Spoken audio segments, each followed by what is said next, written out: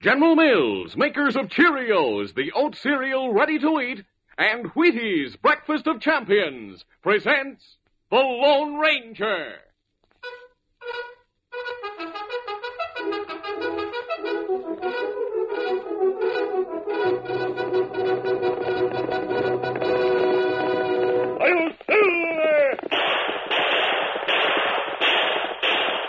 Fiery horse with the speed of light, a cloud of dust, and a hearty hi-yo silver.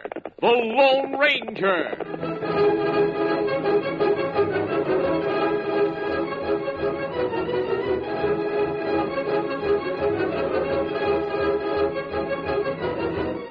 With his faithful Indian companion Tonto, the daring and resourceful masked rider of the plains led the fight for law and order in the early western United States. Nowhere in the pages of history can one find a greater champion of justice. Return with us now to those thrilling days of yesteryear. From out of the past come the thundering hoofbeats of the great horse Silver. The Lone Ranger rides again. Come on, Silver! Let's go, big fella! I'll silver! Away!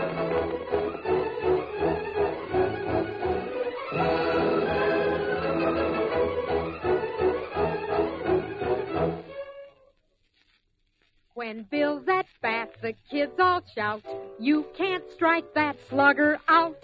He gets a hit because he knows he's got go power from Cheerios. Yes, he's got go power. There he goes. He's feeling his Cheerios, Cheerios, Cheerios. That's Cheerios, the cereal shaped like little letter O's. And those O's stand for oats. The good grain Cheerios is made from. Every delicious spoonful of Cheerios and milk is real muscle building food. Each spoonful contains vitamins, minerals, and proteins your body needs. Yes, those good things in a Cheerios breakfast do good things for your body. Help you have healthy nerves, good red blood, strong bones, and muscles. You can see that Cheerios is made to give you real go power. So make sure you have a Cheerios breakfast every day. Then you'll hear people say, He's feeling his Cheerios.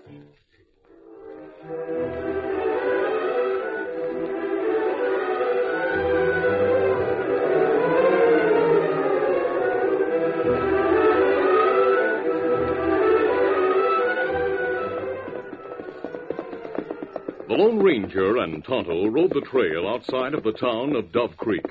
Suddenly, Into the woods, Tonto, quickly. Come on, Silver. Get him up, Scout. Oh, oh, easy, steady, big fella. Easy, Scout, easy.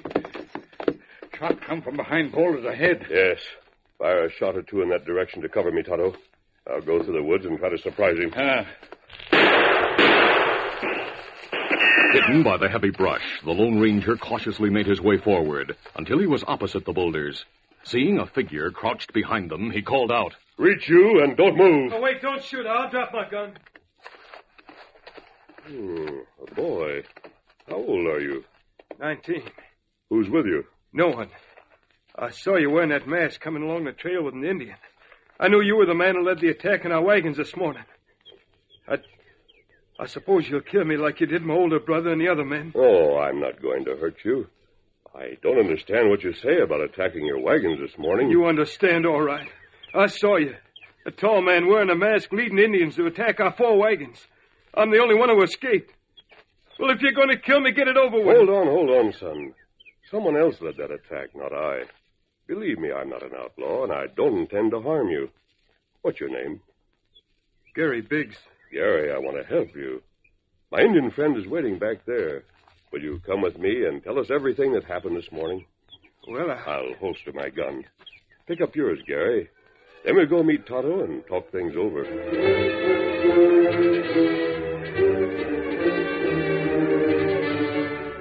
The Lone Ranger and Gary joined Tonto. Then they camped in a clearing nearby. When the youth finally realized the masked man and Indian were not going to harm him, he talked freely. I was coming west with my older brother, Frank. He was in charge of the four wagons. Yes? Just after dawn this morning, I, I was riding behind the wagons when Indians, led by a masked man on a white horse, came over a rise, yelling and shooting. I see. I I jumped from my horse and ran into a grove where I hid in the thick brush. And the fight ended. My brother and the others were dead. Wagons burned. Oh, I'm sorry. Indians took the horses, all except mine. I found him back in the woods. And Gary, we're terribly sorry about what happened. If you'll trust us, we'll take care of you for a while. But I'm all mixed up. You wear a mask and ride a white Now, horse. listen, Gary. Tonto and I came to this territory hoping to find a notorious outlaw named Carl Keel. He's a German and speaks with an accent. Say, I remember hearing him shouting orders. And he did talk strange like. Ah, me sure that killed Kimasabi.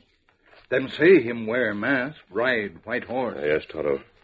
Gary, while you have food and get some needed rest, Tonto and I'll ride to where the attack took place. Perhaps we'll be able to pick up Keel's trail from there.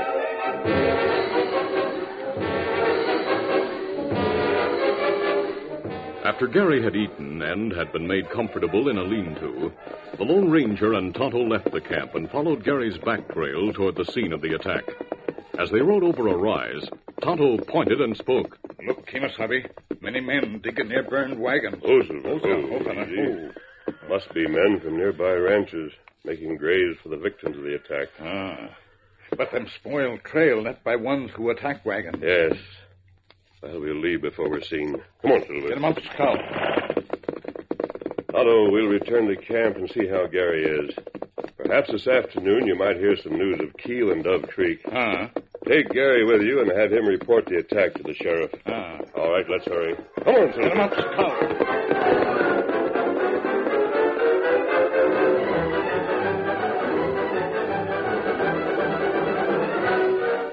That afternoon, Tonto and Gary Biggs rode to town to the sheriff's office, where Gary told of the attack.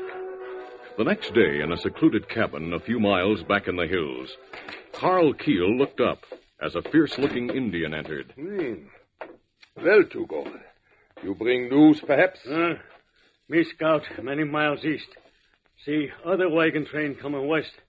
It maybe reach plain where trail cross in morning. Oh, ah, that is good, Tugo. Very good. It was a smart idea to join your gang of ten renegade braves with my eight men. Hmm? Neither group alone was strong enough to attack the wagons. Ah, It was also smart to have my men disguise themselves as Indians. It's more confusing and terrifying to the pioneers we attack. We'll give the wagon train you saw a warm welcome, Tugo. braves, be ready. You give horses and guns like before. Yeah, yeah, yeah. Your Indians get all the horses and guns, and my men and I are to take whatever else there is worth taking. Ah, My, uh, my men are already at your camp, so tell them we attack in the morning. And later you and I'll meet here and make definite plans.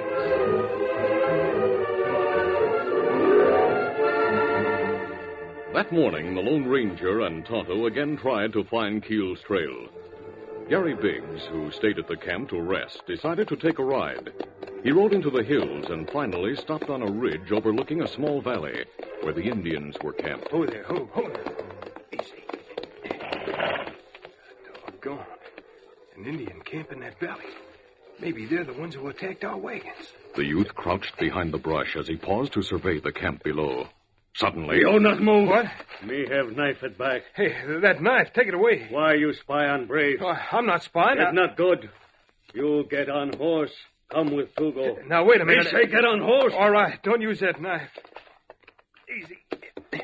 Uh, look, I wasn't spying. I just you saw... not talk. Me take it to paleface boss man. Up. Get it. Get it.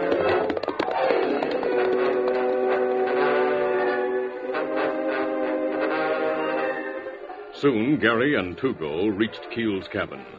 The Indian shoved the youth ahead of him, saying, You go in the cabin. Tugo, who is this you bring here? Him spy on Indian camp in valley. Oh, tie him up. After we find out who sent him to spy on the Indian camp, you'll get rid of him. Tugo tied Gary securely. Then Carl questioned him carefully and at great length. Gary, fearing for his life, told of events up to the time Tugo had surprised him on the ridge. Finally, Carl turned to Tugo, saying, He tells of staying in camp with two men. A masked man and an Indian who are searching for me, Tugo. Me not savvy. No, but I do. The men he speaks of have looked for me before. And because of them, my friend, I left the Pecos territory. It not good then so close. You're now. right. One is the Lone Ranger. We hear of mask one who ride big white stallion. Him plenty bad medicine. Yeah. but he and his friend the Indian will stop a bullet like any other man.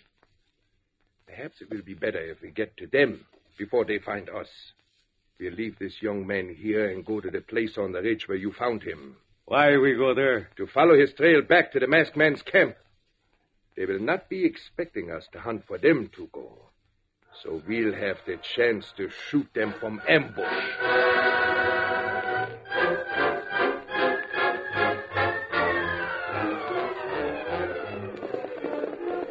When the Lone Ranger and Tonto returned to their camp, they found that the youth had left. Oh, Scout. oh, Oh, fella. Easy, Scout. Easy, fella. Gary's horse gone, Kimosabe. And him not lean to. A young man his age gets restless, Tonto. He must have gone for a ride. Uh, him come back soon, maybe. Gary's been through a lot for one so young. Silver's warning us of danger. Uh, him look to woods to right.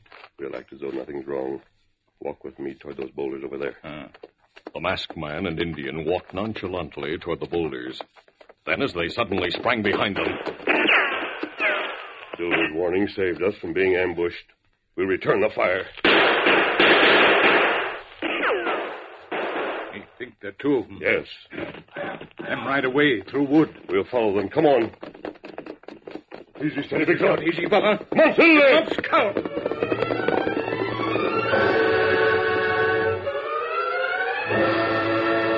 Carl Keel and Tugo rode through the woods and over a hill to the main trail. Later, as they turned onto a branch trail, Tugo spoke. You think them follow us? Yeah, we must stay well ahead of them, Tugo. We'll go to the Indian camp in the valley. Then, if the masked man and his friend appear, they'll ride into trouble. Get up there, get up.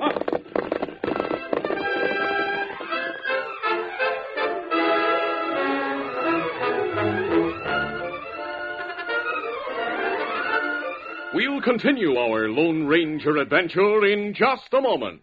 He can capture outlaws 'cause he knows he's got go power from Cheerios. Yes, he's got go power. There he goes. He's feeling his Cheerios. Cheerios. Cheerios. Sure, Cheerios, the cereal that's fun to eat because it's shaped like little letter O's. The only ready to eat oat cereal with this fresh toasted oat flavor. And listen, every delicious spoonful of Cheerios and milk is real muscle building food. Each spoonful contains vitamins, minerals, and proteins your body needs. Yes, the good things in a Cheerios breakfast do good things for your body. Help you have healthy nerves, good red blood, strong bones and muscles.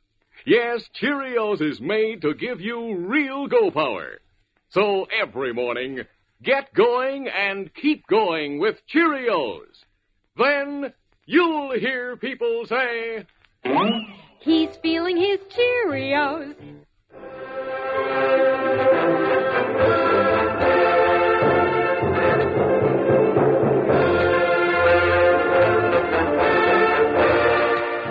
To continue. As the Lone Ranger and Tonto reached the main trail, they saw the two outlaws turn onto a branch trail and disappear over a rise. At that moment, the masked man and Indian saw the sheriff and posse approaching. They stopped, and after the Lone Ranger identified himself, told about Keel and Tugo. Then, joined by the posse, they continued after the two men.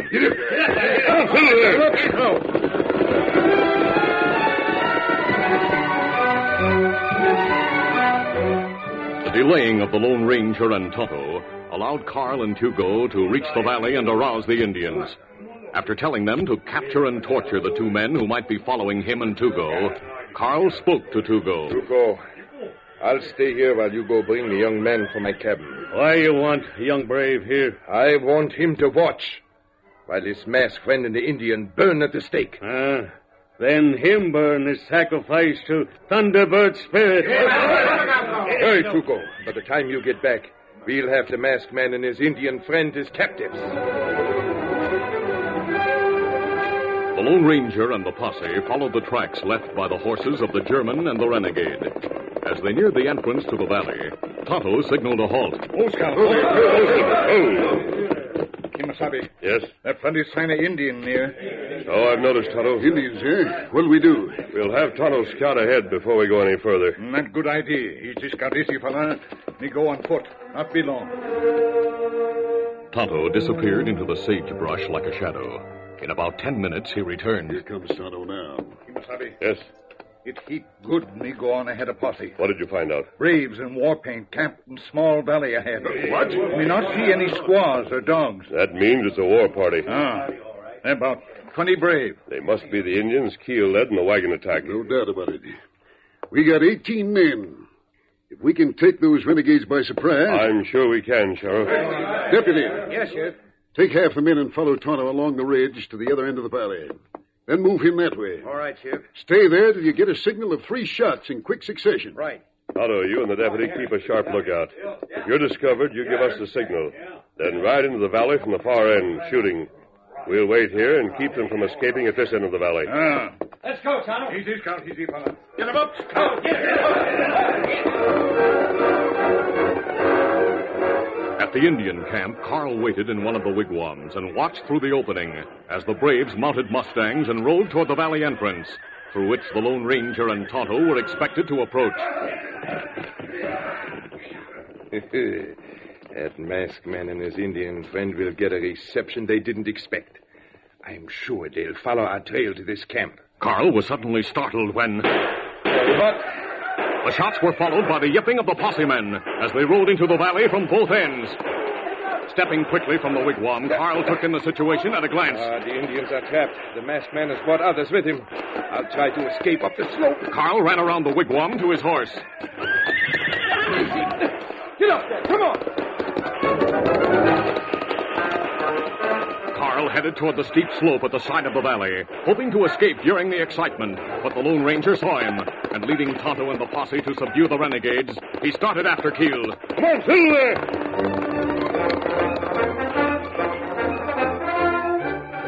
After Carl reached the brush covered slope, he turned and looked back. The masked man is after me.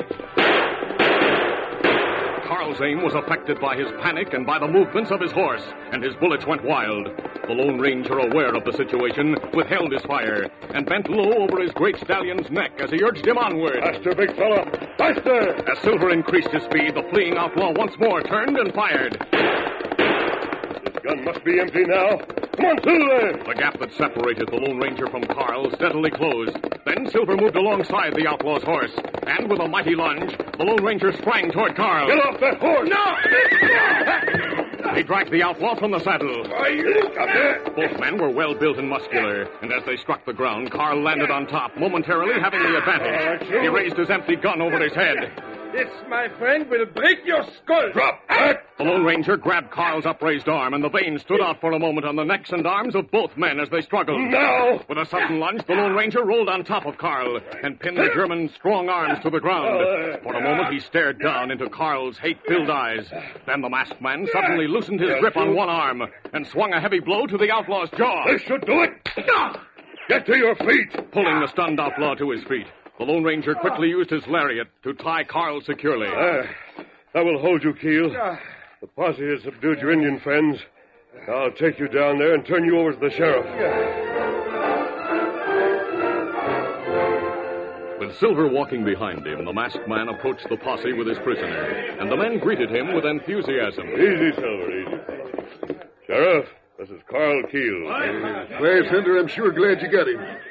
I saw you fighting up on the slope, and I was a little worried. You not have to worry, Sheriff. so I see. Now, Kimasabi, Yes. me learn from Brave that Indian named Tugo go to bring Gary here. Me find out Keel Indian catch Gary this morning.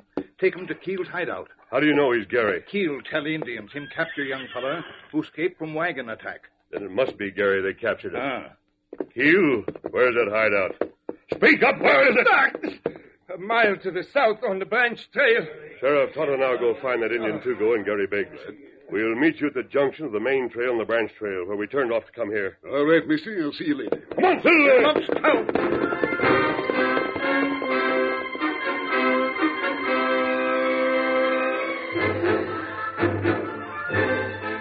Half an hour later, the sheriff and the posse men heard hooves approaching the junction where they were waiting. Hey, Sheriff, here comes the masked man, his Indian friend. Yep. By golly, they have the young man and an Indian with him. Moses, oh, Steady. Sheriff, this is the Indian Tugo who rode with Carl Keel. We met him heading for the valley with Gary Biggs. Did you have any trouble? Uh, Tugo saw him coming. He was fixing the fire when the masked man shot the gun right out of his hand. Are you all right, young fella? Oh, yes, Sheriff. They planned to kill me for telling about the attack. Keel's a mean hombre, certainly. By the way, mister, after you and Tonto left, we found out something interesting. Oh, what, Sheriff? Eight of those prisoners aren't Indians at all. They're white men disguised as redskins. Must have been the members of Keel's gang. Yes, and that explains something that puzzled me. I couldn't figure out why a band of Indians would need Keel to lead them in the attacks on the wagons. The fact that Keel's men are with them clears up that point. Without them to help, the Indians didn't have enough men to risk an attack. That's about the size of it, mister. Keel and his men will hang for the killings. Tugo and his braves will be punished by the army. By the way, young fella, what do you intend to do from now on? Ride with the masked man and Tonto? I'll answer that, Sheriff. Gary wants to stay in Dove Creek if he finds a home. What? Well, in that case, he can live with me and my wife. We'll be glad to have him.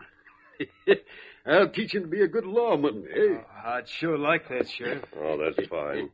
Sheriff, I'm sure you and your men can handle things now. Tonto and I will stop at the army post and request that they send troopers to get those renegade Indians. Good. Those redskins are through making trouble around here. Adios, Sheriff. Adios, everybody. Adios, Steve. We'll stop to see you now and then, Gary. Let's go, Tonto. Come on, Silver! Come on, Scout. Well, Gary, there they go.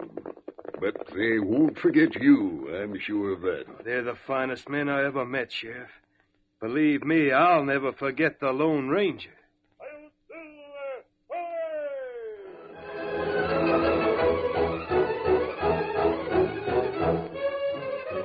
We'll return in just a moment for a word about our next exciting Lone Ranger adventure Dead Man. Here's big news. Now you can get auto emblem models free of extra cost with Wheaties. You know auto emblems are the handsome insignia or nameplates that identify one automobile from another. Some automobiles have their emblems on the horn button, others on the trunk of the car, or up front by the grill. Wheaties emblems are beautiful steel models of these actual auto emblems. Each emblem is a little bigger around than a donut. The brilliantly colored design is raised, not just painted on, and it won't break. It's made of solid steel. Eight different emblems are offered free with Wheaties, one to a package. There's Nash, Packard, Studebaker, Hudson, DeSoto, Chrysler, Plymouth, and Dodge. Here's how you get 'em. At your grocer's, look for special Wheaties packages that picture an auto emblem on the front. The picture tells you what emblem is inside. The emblem inside is yours free of extra cost with a special Wheaties package. Hurry to your grocer's now. Get your Wheaties auto emblems while supplies last.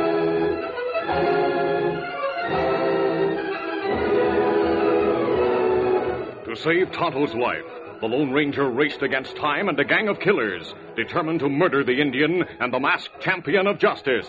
Be sure to listen.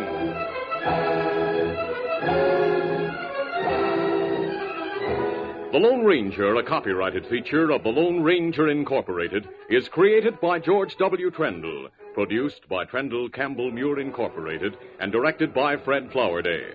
Tonight's drama was written by Dan Beattie. The part of the Lone Ranger is played by Brace Beemer. Your announcer, Fred Foy.